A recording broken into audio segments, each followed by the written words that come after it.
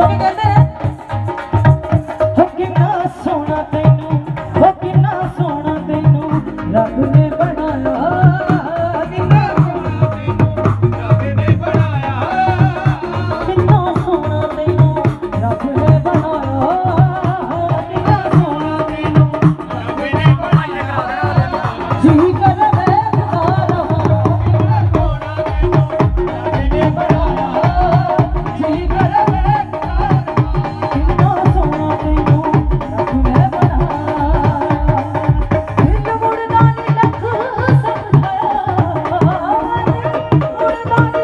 Thank you.